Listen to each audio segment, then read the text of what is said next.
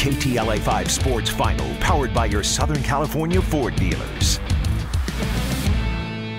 Well, after endless rumors that rocked the franchise last season, the Lakers have finally landed their man, reportedly reaching a mega deal with the Pelicans for the big man Anthony Davis. The deal gives LeBron